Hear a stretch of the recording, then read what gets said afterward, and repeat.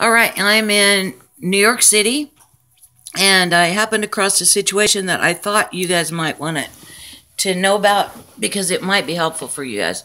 So, met somebody who basically what she has done is she's protected herself over years of calling in all kinds of uh, spells and um, affirmations and visualizations of protection layer upon layer upon layer. And these layers have gotten so thick that literally I spent four hours trying to sort through them to get to, to, to work my way through them and I couldn't get through them. They're that thick.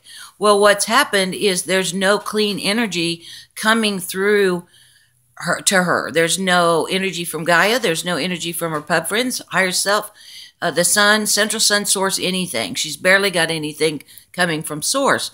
So what that does, because it's been a scary world in 3D, so she was doing protection, which is what New Agers told her to do. But what's happened is now she's in this place that all there is is, is she's caught in this giant protective bubble where she can't clear anything. It just keeps rotating and rotating. So she's going through the same problems over and over, can't fix them.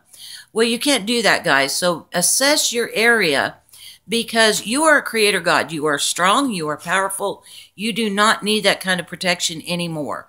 So get rid of all of it. Just one sentence. Get rid of all the protections. Then say, I am a creator God.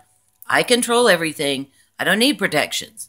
And then walk through your life moment to moment. So if anything starts to happen, just tweak it in that moment. If it feels like something's going awry, think a happy thought, change the, the way it's going to work out for you, and it will. Literally, I've been doing it all trip. And these guys can tell you that. It's not hard to do. It's much easier than that. And that will allow that the good energies to flow through you and um, refresh you, cleanse you, because there's a lot of really good energies on this planet available. But if you block all energies in order to protect yourself from the bad energies or the low energies, you don't get the advantages of the higher energies, you see.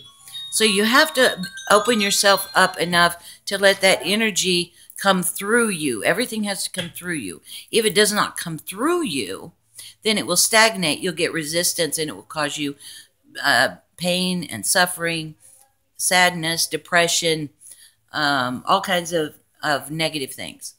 So, for anybody who's got that, who's done the protection thing, I really want to encourage you Take down those protections. You don't need them anymore. You are a powerful creator God. In the moment, you can protect yourself all you need to. Okay? Even after the fact, you can. Okay.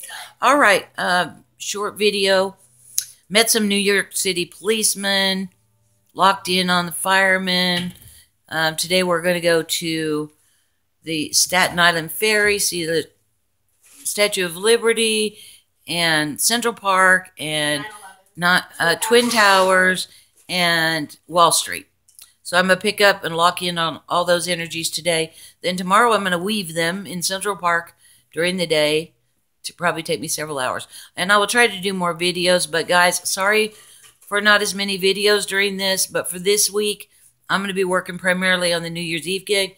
Then I'll start making videos again for you after New Year's Eve, okay? All right, guys, huge hugs. I love you so much, and I'll talk to you later. Bye now.